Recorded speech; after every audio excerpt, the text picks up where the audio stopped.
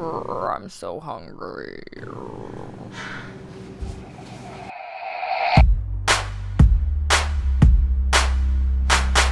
Hey guys, it's Marissa. So just before we get into the video, I just want to say a couple quick things. First off, this is a collab with another fellow health and fitness guru, I guess. She also has beauty videos um, that I met here through YouTube. Her name is Kaylee Marie, and I'm going to link all of her stuff down below, she is going to show you guys post-workout snacks and I'm going to show you pre-workout snacks. So just a little disclaimer, I guess. I filmed this video before I went high carb, low fat vegan. All of the recipes are vegan, but they do have some fats in them. I would eat these even now being high carb, low fat, if I hadn't had much fat otherwise throughout the day. These are still really awesome pre-workout snacks if you're vegan, non-vegan, vegetarian, whatever. I hope you guys like this video and I will let you watch it now.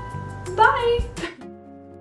So the first pre-workout snack is a little roll-up. So you can use any sort of nut butter you like. These are my three favorites at the moment, but I decided to go with the crunchy peanut butter with flax seeds and chia seeds because chia seeds have a good source of protein and also are high in many antioxidants. And so I just spread that onto my tortilla and put a banana in the middle. It's pretty much that simple. Then you roll it up, cut it down the middle, and there you go. You can have the whole thing, or you can have half of one, depending on how hungry you are before your workout, but it'll carb you up for a really energized workout. Yes, so this one might seem too simple, but really, dates are so energizing. All you have to do is grab two or three dates and you are going to have so much energy and feel so full because they're full of fiber and they're a really good source of various vitamins and minerals. It has um, calcium, iron, phosphorus, sodium, potassium,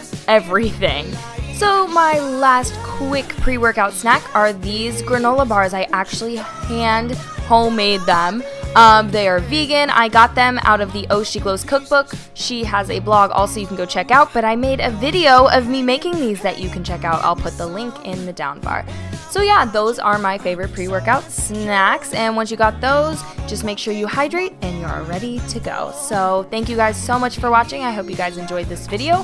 Have a great workout and I'll see you guys next time. Also, be sure to check out my friend Kaylee Marie's page. Her video for post-workout snacks really yummy, so be sure to go check out her video. Bye guys!